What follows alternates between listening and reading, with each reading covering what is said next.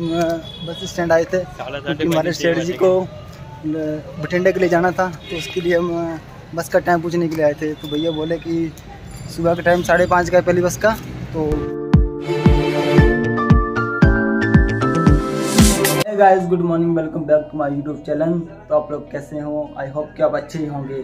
तो आज सुबह के बज रहे हैं साढ़े सात और मैं खा रहा हूँ एप्पल। तो आज की शुरुआत करते हैं एक एप्पल के साथ एनर्जी के साथ। तो जैसे कि आपने कल देखा कि ब्लॉग के अंदर कि मेरे शेठ जी ने अपने पोते के लिए लिया था ढोल, और ढोल को मतलब कि देखकर मुझे अपना बचपन याद आ गया। जब हम बचपन में थे तो हम जब कहीं भी घूमने के लिए जाते थे और हम खिलौने के लिए बहुत जिद किया करते थे। खाने की जगह कुछ नाम ले, लेकिन खिलौना तो लेना ही लेना है। तो कौन कौन ऐसी मेरी तरह जिद किया करता था तो आप कमेंट बॉक्स में ज़रूर बताएँ। और क्योंकि कहीं हम जाते थे घूमने के लिए, दशहरा हो चाहे कोई मेला हो तो वहाँ हम खिलौने के लिए ही जाते थे ताकि हम खिलौना ले पाएँ और खाने के लिए कुछ भी ना मिले लेकिन खिलौना तो हमें लेना ही है। चलो तो आप देख सकते हो। गुड मॉर्निंग सिस्टर क्या खा रहे हो? मेरी तरह। आप भी एप्पल खा रहे हो? सभी को एक एक मिला है। इसको? इसने ना अपना एप्पल रात ही खा लिया था और हमने खाया नहीं था तो हमारे एप्पल अब खा रहे हैं। तो मम्मी बना रहे खाना। तो मम्मी गुड मॉर्निंग क्या कर रहे हो? खाना बना रही हो। तो मम्मी का भी एप्पल पड़ा, अभी मम्मी भी खाएगी। बाकी इन्होंने तो अपना अपना खा लिया है और हम तीनों रह गए थे तो हम अब खा रहे हैं। अब देख सकते हो मम्मी गीजे रोटी बना रही है। परांठे। तो आज हम खाएँगे परांठे। इधर। तो गाइस मैं आपको एक चीज़ दिखाता हूँ। मम्मी कल खेत से लेकर आए थे। तो आप बताना कमेंट करके कि ये क्या चीज़ है किस किस को पता चला कि ये चीज़ क्या है। तो मैं आपको दिखाता हूँ अभी।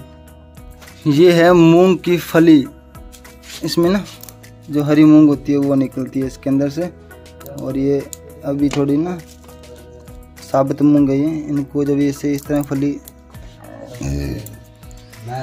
इस तरह करेंगे ना तो ये इस तरह मूंग निकलेगी इसके अंदर। जो हम केवल, कई बार दालों के अंदर यूज़ करते हैं इस तरह की मूंग निकलेगी। तो काफ़ी एक बाल्टी भर कर लेके आए थे मम्मी कल। एक और नई खबर है, जो कि मैंने आपको पिछले ब्लॉग में बताया था कि हमारी वॉशिंग मशीन ख़राब हो चुकी है, जो ड्रायर वाली है, जिससे हम कपड़े सुखाते हैं। तो फाइनली वो कल ठीक हो चुकी है। तो भैया कल आए थे वो उसके अंदर मोटर फिटिंग करके चले गए और ठीक हो चुका है। चलो आपको दिखाता हूँ। ये कुछ एक नई ये देखो। ये कुछ इस तरह, ये पहले ढक्कन नहीं लगा था ना? बीच में ये नहीं था। तब ये फिटिंग कर दिया भैया ने और ये पूरी पूरी कंप्लीट है और अब हम इसमें कपड़े सुखा भी सकते हैं। पहले पता क्या होता था कि जब जीन्स धो देती थी सिस्टर तो दो दो दिन तक सूखती नहीं थी। क्योंकि अभी मौसम चेंज होगा ना तो इसलिए अभी ये मशीन भी ठीक होगी। तभी जिस दिन पैंट धोएँगे उसी दिन सुखाएँगे और अगले दिन पहनेंगे। तो ये काम बढ़िया हो गया। चलो कुछ तो सुधार हुआ। हमें ढक्कन साढ़े तीन सौ बस तुम आपको बता दूँ कि जो मशीन है ना वॉशिंग मशीन उसकी है ना ये वाला ढक्कन नहीं है एन आई सी की तो मम्मी बोल रहे हैं वो भैया बोल रहे थे कि मेरे पास इसका ढक्कन पड़ा है। और अगर आपको चाहिए तो मैं आपको साढ़े तीन सौ का लगा दूँगा। तो चलो देखते हैं इसके ढक्कन लगवाएँगे। अभी आपको मैं दिखाता हूँ ये मस्त मस्त परांठे। और भी मजबूती बन जाएगी। दोस्तों चूल्हे के ऊपर बने हुए परांठे तो कुछ अलग ही स्वाद होता है। और अभी हम खाएँगे परांठे नहाने के बाद फ़िलहाल बिल्ली हमारे घर पे हर रोज़ आती है हर रोज़। और इसने एक काम बढ़िया कर दिया क्योंकि हमारे घर में चूहे काफ़ी थे तो ये सभी चूहों को खा गई। क्यों बे तो आजकल बहुत चिकन खा रही है। इधर देख। हेलो गुड मॉर्निंग हाँ गुड मॉर्निंग कितने चूहे खाए तुमने दो? सबसे बड़े वाले चूहे थे ना। दोनों खा गई क्या कर अभी सारा सामान वगैरह समेट रही है। और लाइट क्यों ऑफ़ कर दी? लाइट तो ऑन कर दे भाई।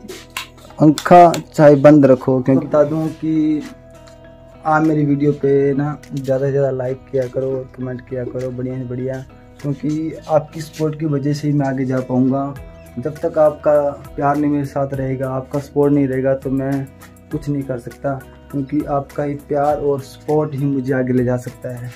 तो कृपया करके बेल आइकन को दबा दीजिए, चैनल को सब्सक्राइब कर लीजिए और वीडियो को पूरा वॉच कीजिए और अपने भाई को सपोर्ट कीजिए, क्योंकि आप देख सकते हो मैं गाँव से बिलोंग करता हूँ। तो एक गाँव से निकल कर बाहर तक जाने में बहुत वक्त लगता है और आप की सपोर्ट की वजह से मैं आगे जा पाऊँगा। तो अपने भाई को फुल सपोर्ट कीजिए। देखो कुछ इस तरह ना ये देखो आप। ये पता नहीं क्या हो गया है। और कुछ एलर्जी वगैरह हो गई है रिएक्शन वगैरह कर गई कुछ ही कोई नहीं। बैठा नहीं कोई दवाई ले आना। अभी आप देख सकते हैं सिस्टर क्या कर रहे हैं। बालों को ऑयल लगा रहे हैं। खेत में जाना है और खेत के लिए रेडी हो रहे हैं। बाल बालों के अंदर ऑयल लगाकर और खाना वगैरह तो मम्मी बना रहे हैं। तो अभी ये एकदम फ्रीडम इंसान अभी नहा कर आए हैं। पूरा दिन घर कुछ काम वाम नहीं है इनको। खा लिया पी लिया और सारा दिन सो लिया। मम्मी ने इसको कल बोला था तू खेत चला जा लेकिन खेत नहीं गया पूरे दिन घर पे। क्यों भी सही बोल रहा हूँ मैं? सही एकदम। खुद बोल रहा है कि तू सही बोल रहा है एकदम? तो यार इसको ना समझाते हैं कि तू काम कर ले। ये मानता नहीं है वैसे अपनी चलाता है। चलो। क्या चीज़? करनी जिस तू बोलेगी इसकी ट्राई करनी पड़ेगी। चूहे का बैग कर रही है। अब कहाँ जा रही है? इधर रहती है। हर एक दरवाजे के आगे या वहाँ बैठी रहती है। चूहे का वेट करती है। कब बाहर निकले कब उसको मैं दबोचूँ तो इसका यही सीन है। क्योंकि इसको भी सुबह सुबह खाना चाहिए वो भी चिकन तो ये चिकन डिनर करती है हर रोज़ हमारे घर पे आके। पापा भी जा रहे हैं।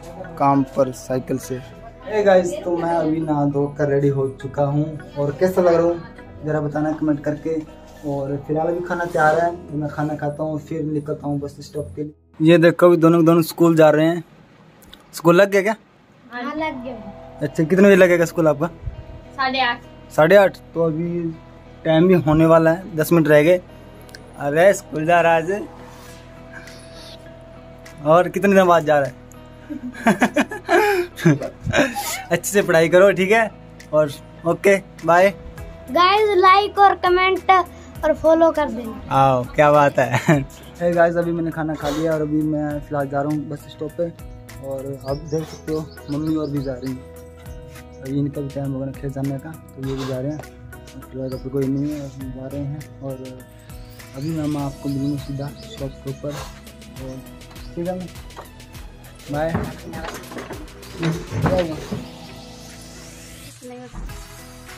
और मैं पी रहा हूँ अभी चाय। हेलो गाइस अभी तीन बज के अट्ठाईस मिनट हो चुके हैं और अभी हमारा खाना आ चुका है। अब हम खाएँगे खाना। तो अभी देखते हैं खाने में क्या क्या है। ये आप देख सकते हो आलू और गोभी और गाजर की सब्ज़ी और साथ में सलाद बनाना का और गुड़ और इसमें जैसे राइस और चने और अचार प्याज और रोटी। तो कैसा लग रहा है खाना देख के? बहुत बढ़िया लगा आज तो अरे नियारा आ excited? जाएगा नियारा आ जाएगा। क्या बात है। भैया ना हमारा हो चुका है और बहुत टेस्टी था खाना भी। ये भाई साहब इनको खाना खिला रहे हैं। इन्हें भी खाना चाहिए यार। यहाँ से लेके लेकर वो वहाँ तक पूरी लाइन है इनकी। दिन भर मेहनत करते हैं बेचारे।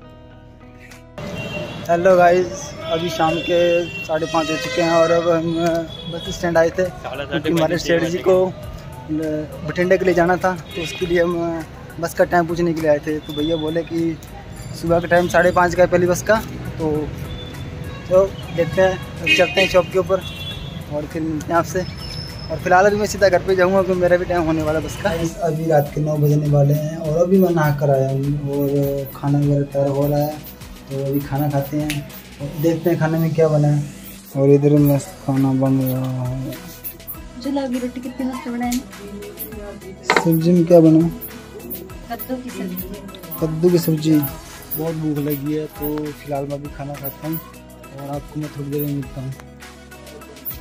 सब्ज़ी बनी है कद्दू की। और वैसे तो कद्दू मैं बहुत कम खाता हूँ लेकिन चलो आज तो खाना पड़ेगा। है गाइस अभी रात के हो चुके हैं साढ़े नौ और खाना मैंने खा लिया है और फ़िलहाल अभी मैं पी रहा हूँ चाय, क्योंकि चाय को मन कर रहा था तो मम्मी बोली मैं मुझे भी पीनी है। तो फ़िलहाल अभी चाय बनाई और हम चाय पीने लगते हैं। मम्मी भी चाय पी रहे हैं। मम्मी, क्या कर रही है? दलिया, किसके लिए? ओहो अच्छा उसके लिए दलिया की सफ़ाई हो रही है और फिर बना के देंगे। क्योंकि वर्कआउट के बाद ना दलिया खाते हैं इसलिए, उसके लिए दलिया और हमारे लिए चाय। है गाइस तो आप लोग कैसे हो? तो अभी खाना खुना खा के मैं फ्री हो चुके हैं, चाय वगैरह पी लिया है। तो अभी फ़िलहाल ब्लॉग को करते हैं एंड एंड करने से पहले मैं आपको थोड़ा कुछ बोलना चाहता हूँ। आप वीडियो को लाइक ज़रूर किया करो और वीडियो को वीडियो को कमेंट किया करो और क्योंकि आपकी सपोर्ट की वजह से ही तो मैं आगे जा पाऊँगा। लेकिन क्योंकि आप लोगों में प्यार रहेगा और सपोर्ट रहेगी तो मैं बहुत नहीं बहुत बहुत आगे जा सकता हूँ। तो इसलिए अभी इस इस ब्लॉग को यहीं पे एंडिंग करते हैं। तो अगर हमारा ब्लॉग आपको अच्छा लगा हो तो लाइक करें और जो भी चैनल पर नए हैं वो चैनल को सब्सक्राइब करें और मिलते हैं कल ही। नेक्स्ट ब्लॉग में तो तब तक के लिए बाय